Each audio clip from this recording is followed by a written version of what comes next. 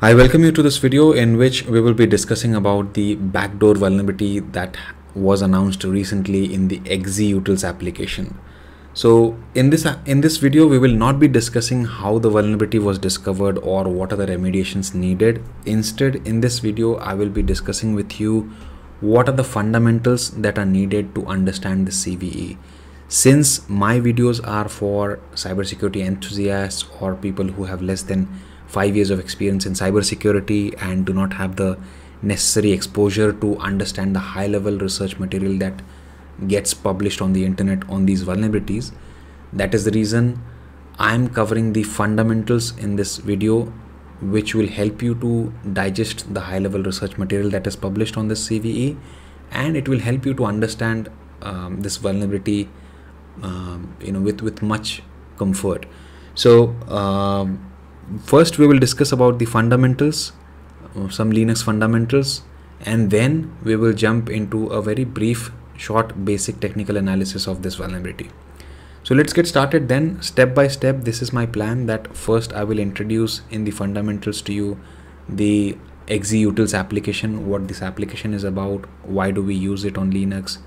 Then we will discuss about the code libraries in brief because the XZ Util application it uses a library and that library was compromised uh, with a backdoor by the attackers.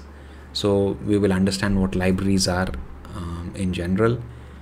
Then we will discuss about linux os update basics because this library and this application gets distributed to the world through updates.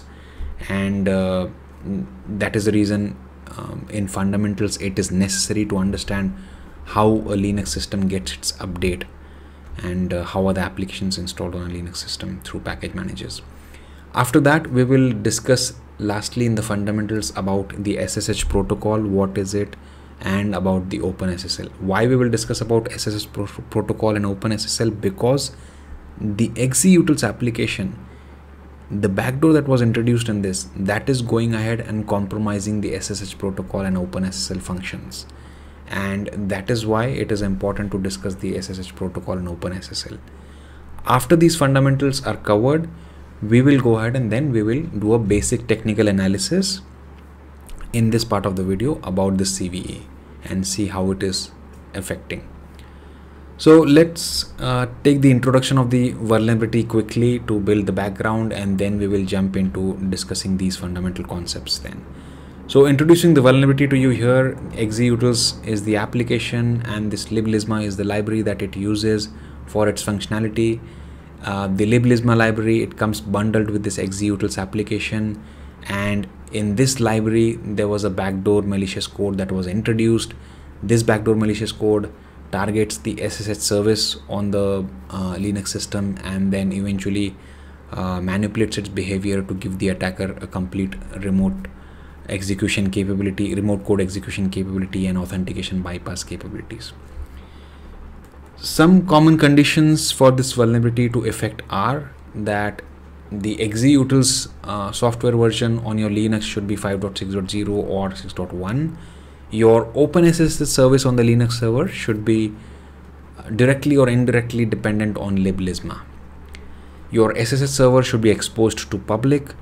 The glibc and uh, GCC, these two foundational components should be present and configured in a specific way in order for this vulnerability to take effect. So in case if these conditions are not met, you don't need to worry. In case if your SSH server is not exposed to the internet, in case if it doesn't have, in case if your Open SSH service does not have a direct dependency or indirect dependency on liblzma library, then you don't need to worry about this. If your XZ Utils application is not amongst these, then you don't need to worry about this. Okay, so then let's get started with the basics now. Let's understand what XZ Utils application is, why it is used on Linux. So XZ Utils application, it is used for compression and decompression, zipping and unzipping data.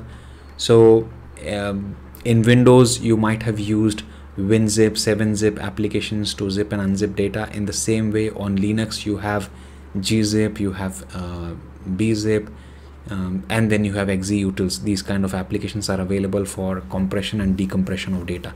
Now XZ Utils, it is ubiquitous on Linux because uh, it's a very old application its compression ratio is much better than other zipping applications and uh, it was very well maintained and uh, you know that is the reason XZ utils was very much used on linux all over. And uh, yeah it's it's sad to see that this application um, applications maintainer uh, has has compromised this application and, and spoiled its reputation now. So there are two parts to this application XZ utils application a front end the application part which is available to the users using which they interact with the exils um, exe utility. Uh, so like this in your, in your linux server if you type in exe slash help it will tell you all the commands that are available for you to interact with this application. And in the backend the second part it uses this library liblzma library which is nothing but uh, short for lempel ziv markov chain algorithm so this is a formula, a mathematical formula, algorithm which based on statistical redundancy, it compresses and decompresses the data. So this is the backend working. So these are the two parts to this application to this utility. One is the application part using which you will interact with the application um, to use the functionality and the backend part, uh, the library part, um, which is then providing the compression decompression functionality, backend functionality to the application. Now let's understand what are the libraries because this is the library that was compromised. Let's understand what are libraries, why do we need them in, in the software world. So code libraries, they are like, you know, a pre-written uh, a code is a, a, pre-written code is available for the developers for usage. So um, these these libraries are maintained by communities or by companies. Um, you know, so if, if, if I have to tell you what what is the exact use cases then efficiency is one of the features. Like since these libraries provide pre-written code that developers can use instead of writing everything from scratch so this saves time and effort which in, turn allows the developers to focus on their unique aspects of the applications rather than you know the common functionalities that are already implemented by others. Uh, for example you know your application might need to communicate over the network. It might need to manipulate some images. It might need to manage user data. Uh, so all these functionalities basic functionalities are already provided in libraries. So instead of developing everything from scratch you use these libraries and you just concentrate on the unique aspects of your application. So for example if i'm mm, developing a new zipping or compression decompression application tomorrow then in the backend, I will not be developing the whole algorithm for compression and decompression. I will be simply using a library like liblzma for my zipping and unzipping application.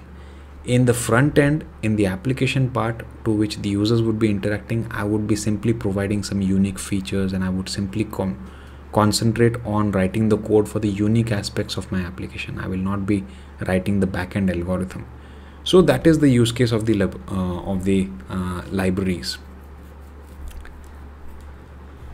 So uh, in in windows and in linux like uh, in windows you have dynamic link libraries dll files called dll that come with the extension of dll uh, in the same way you on linux you have the files that end with the extension .so which are called shared object files so just like Microsoft provides you some DLLs, uh, you know, a foundation, a platform so that your application can run. Uh, in the same way on Linux as well, um, Linux provides you some OS libraries as well as some external third-party libraries are also downloaded and used with the applications.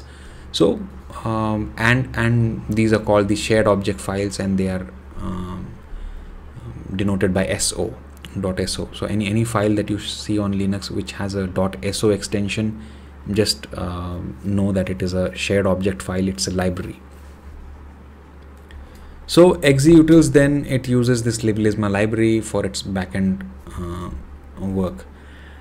So I, I hope that now the XZ utils application and how is how it utilizes this library that is clear to you um, so now let's let's jump to the linux os basics because then we will understand how this library is getting distributed uh, in the Linux world to the Linux systems and uh, what that impact is uh, you know what is the impact because this library is compromised and if it is distributed to linux systems that means you know every system that it is distributed to gets compromised.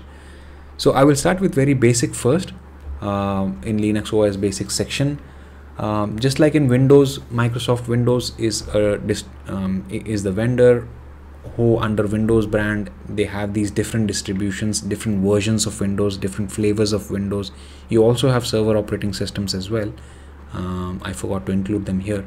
So just like you have these different versions of windows in the same way in linux world you have the main linux kernel which was uh, built like i think in 1990 by um, linus torvalds and based on that linux kernel these are the different distributions that have come up. And these distributions are maintained either by different open source open source communities or different companies. Red hat suse these are commercial distributions so they are maintained by uh, these uh, commercial companies. Kali debian these ubuntu these are mostly maintained by open source communities open source organizations who are contributing and maintaining these distributions. So and this then this every distribution has its own update mechanism. We will dive into that so that we will understand uh, you know how the update works. B before we move on to updates uh, I, I would like to remind you that why we are discussing these basics is so that we grasp the fundamentals that are needed for understanding this vulnerability. Only when you are familiar with what what libraries are, what this application is, what Linux is, how the updates work in Linux, then you will be able to understand okay how this vulnerability is uh, or how this backdoor that is there in this library is getting distributed to Linux systems. So let's talk about the updates then. In Windows, you have the built-in feature that is provided from Microsoft to update your operating system and the Microsoft applications like Outlook, Excel, Word, etc. Then you also have now something called Microsoft Store, which allows you to install new applications, update third-party applications on your system. And then Microsoft has also uh, provided some command line tools now like uh, you know OneGet or WinGet which which are command line tools similar to Linux using which you can uh, install third-party applications. You can update third-party applications from the repository of Microsoft official repository of Microsoft. So on the Linux side you have something called package managers. Package managers are what the Linux distributions use to update the OS update the applications update the libraries. For example if you're using debian ubuntu or debian based distribution like kali then you will use the command apt uh, if you're on red hat you will use the yum command so to query your yum package manager if you're on SUSE, you will use the zypper command. Zypper is the package manager for SUSE, OpenSUSE and SUSE Enterprise both. So, you know, th using these package managers, you will update all the applications that you have on your linux systems you will update all the libraries that you have on your system you will even update your os and os related libraries how does the update exactly work now in linux? So you have this upstream the source repository where all the releases are maintained by the maintainers and developers.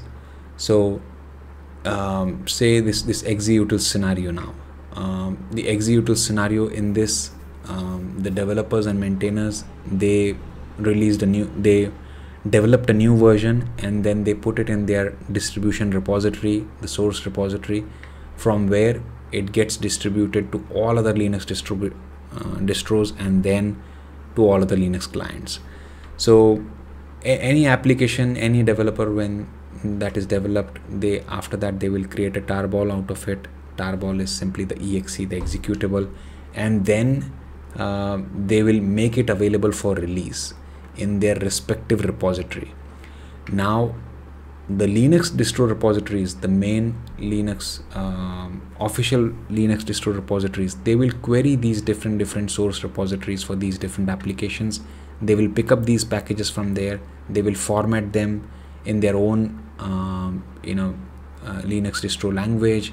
they will test them validate them and then they will make it available in their official repository for download so on a linux client you will use a package manager like apt zypper etc you will use that.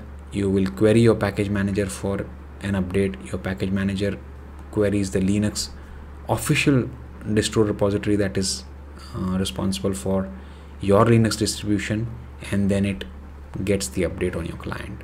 So this is how it works. Now what happened in the uh, XZ scenario in the XZ scenario the XZ application was uh, developed by Lasse Collins and it was being maintained by Lasse Collins the developer uh, for almost 15 years now or more than 15 years I think.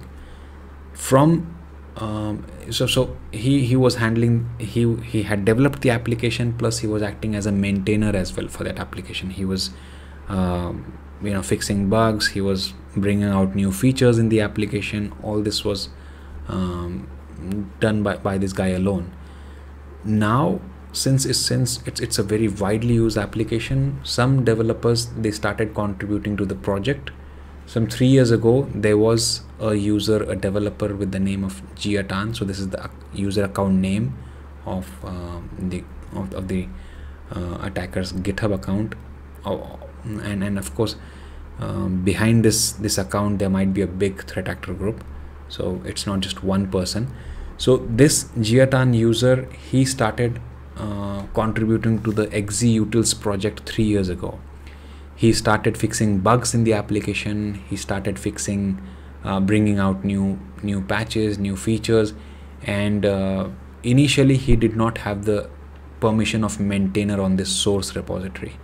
So what he used to do he used to develop uh, he, he used to develop a code that fixes some bug or maybe he developed a code that will bring out a new feature in the application.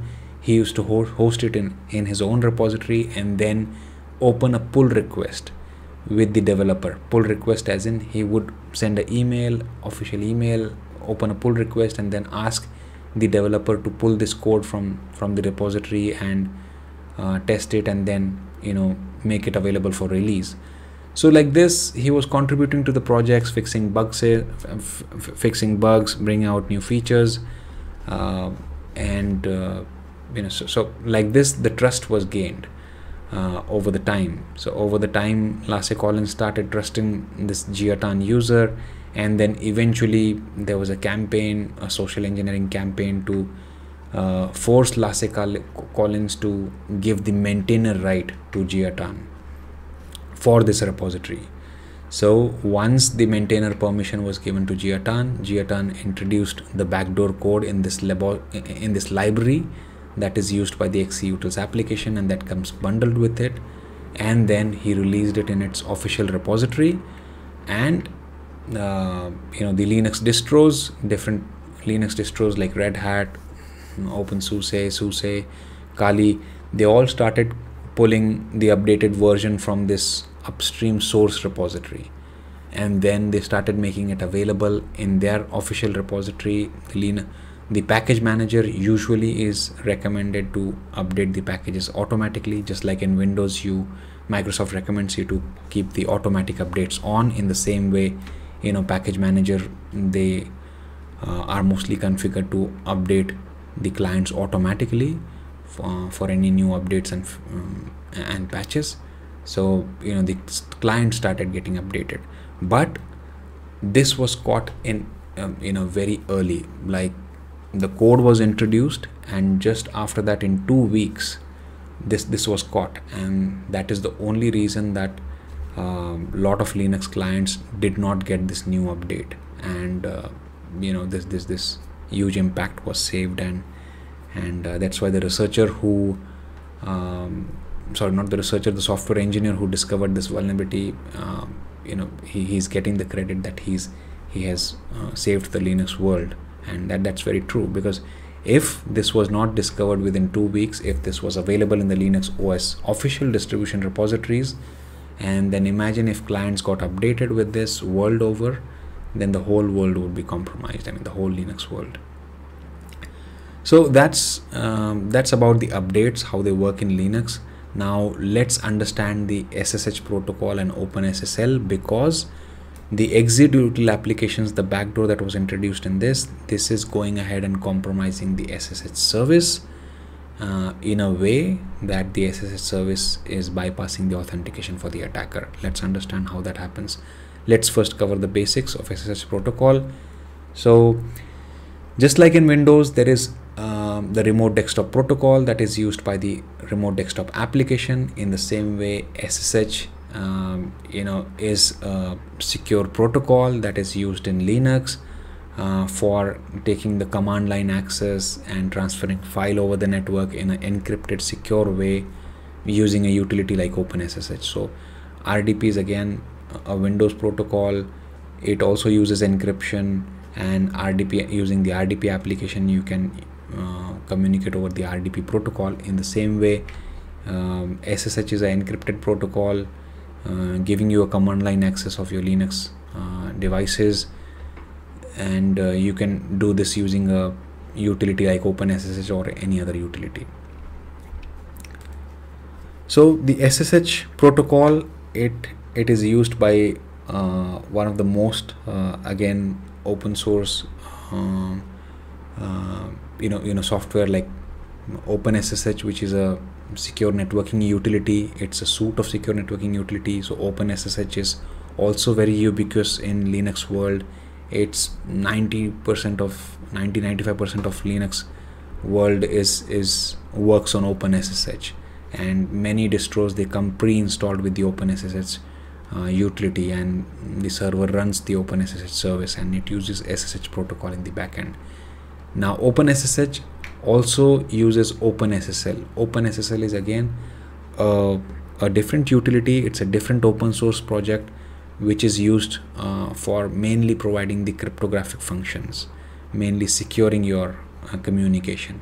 So OpenSSH is a utility that will that you will use for remote or publishing remote service and then OpenSSL is for cryptographic service making it secure so just like uh, you know in the, in the remote desktop protocol remote desktop is a protocol rdp is the application and you in microsoft you use something called s channel secure channel which is a uh, provided by microsoft that uh, secures your communication. In the same way in linux world you have openssl. So let's talk about secure channel s channel which is a authentication protocol suite provided by microsoft in windows systems and using this S channel suit your uh, public key authentication is possible when you communicate over email when you take remote access when you authenticate uh, with a website uh, you know all the TLS and all these versions. Everything is, uh, is, is provided through this S channel suite on a Windows environment. Uh, OpenSSL is equivalent to this it's analogous to the S channel. In the Linux world, OpenSSL provides you with the cryptographic functions. It will provide you all this functionality, making your uh, communication secure. So using a SSH client, when you communicate with the OpenSSL server, your communication that is secured using the OpenSSL. So I hope here the SSH protocol, the OpenSSL server, all these basics are, are clear to you. Uh, now we will jump into the brief technical analysis. So now that we have understood what executable application is what code libraries are how the updates work what SSH protocol is let's understand the relation between XZ utils applications backdoor and SSH protocol how it is compromising it and what exactly is happening. Okay so as we discussed previously that SSH service on on a Linux environment, it depends on the OpenSSL library for encryption decryption for uh, you know its cryptographic function. Now this SSH service, it is indirectly dependent on this liblzma library as well that is supplied with this XZ utils. Now how? I mean the SSH service, SSH service, it is not doing any compression decompression, right? Uh, it is a authentication uh, it, it is a service that authenticates and provides um, you know the, the, the, remote access. But uh, you know why, why is it linked with this liblzma? That is the question. It is it does not have a direct dependency or on liblzma but it has a dependency through systemd now systemd d means daemon in uh, linux which simply and the equivalent of daemon in windows is service. So system service and systemd uh, is, is a service on uh, linux which is used for starting stopping services shutting down the system rebooting the system and, and there are a lot more linux administration use cases for which systemd is used in linux. So ssh is directly dependent on systemd systemd further is using liblzma for some compression decompression functionality. So it is dependent on liblzma library. And this liblzma library has this malicious backdoor which was which came bundled with this xzutils application. And hence since ssh has this indirect dependency now it has this link now through systemd it gets compromised. And this is how the malicious backdoor is able to inject itself into ssh now on my uh, two linux boxes kali and suse in my lab i was able to uh, run these commands to uh, you know verify this indirect dependency. So here if you uh, run this command readelf hyphen d then you will find out the direct dependencies the direct needed libraries by this ssh service. Here in this list you don't see liblzma. You just see libsystemd further if you query libsystemd for uh, you know with the readelf you will find that libsystemd is dependent on liblzma so since SSHD is dependent on libsystemd, it is also dependent on liblzma indirectly. And that is how the relation is and that is how the exploit is able to get hold of the SSH service. I was able to verify this in my SUSE um, you know lab box as well. There I ran the same commands. Again the same point like SSH service is using libsystemd uh, it, you know in the direct dependency it is, liblzma is not listed here but when you query libsystemd liblzma is a direct dependency of libsystemd and then ssh is becoming indirectly dependent on liblzma so what happens then uh, you know due to this dependency due to this link due to this linking of dependencies. So when you start a ssh service on your um, you know on your, on your linux server when you start this service when this service starts it loads this malicious shared object file. Shared object as as i told you that it is a library file. It loads this because it has an indirect dependency. It is linked to this through systemd so this also gets loaded in the runtime and when this gets loaded in the runtime when the ssh starts the malicious code is able to go ahead and inject the ssh service. And the SSH service since it's using the OpenSSL library this malicious code is going ahead and hooking itself to the OpenSSL RSA public decrypt function of OpenSSL library. This RSA public decrypt function uh, this the malicious code is able to hijack. And uh, so while after hijacking then when the SSH server believes that it is calling this RSA public decrypt function it's not calling this RSA public decrypt function. It's actually calling the backdoor. That is how this after this hooking it is able to manipulate the SSH behavior. So due to this when the SSH server is actually calling the backdoor what is happening is in this SSH server uh, you know when an attacker is sending a public key with payload this backdoor intercepts this uh, public key with payload and then gives authentication bypass to the attacker straight away by running some command operations. How is it able to identify the public key, verify the public key of the attacker? Because here in this back backdoor in this malicious code, there is a symmetric encryption key that is hard coded and there is also information hard coded about this public key of the attacker.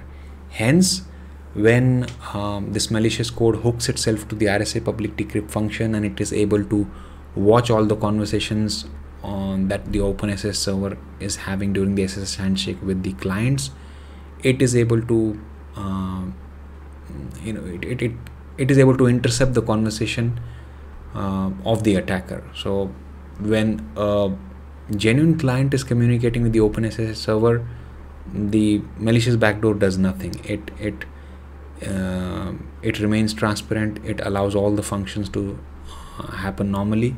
But when an attacker sends its public key with payload, the uh, malicious code um, since it's it's hard coded with these keys and this information it is able to identify and verify this public key and once that happens it manipulates the behavior of SSH server uh, with some command operations and opens the backdoor for the attacker giving the attacker the capability of remote code execution and authentication bypass.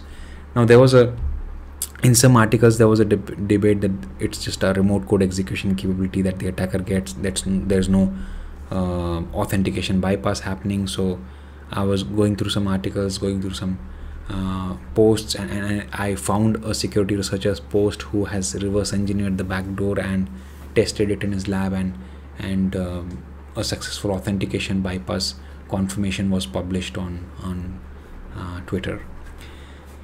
So that's it from my side then um, in this overview of the technical analysis if the response to this video is good then i will bring out a second part of this video in which we will do a further deep dive into the code of this backdoor and we will understand uh, you know how it is able to manipulate the logic of the OpenSSH and um, give authentication bypass and remote code execution capabilities to the attacker. Now if you are interested to do more deep dive then there's by the researchers there is already a um, you know box available on github um, you know which is kind of a vulnerable server to dis- detect the exploit attempts and to for research purposes this is published. You can visit the github repository. You can download it from there and play with it. And uh, yeah that's it then in this in this part of the video. So if you have liked the video please subscribe and share. That will give me more motivation to make such videos. And uh, if you have some feedback do comment it. Uh, you know your your commenting would help me to understand whether uh, you know these videos are making difference um, for the newbies in the security uh, fraternity and that will motivate me to make more videos. All right then. Thank you so much for your time. I will see you in the next one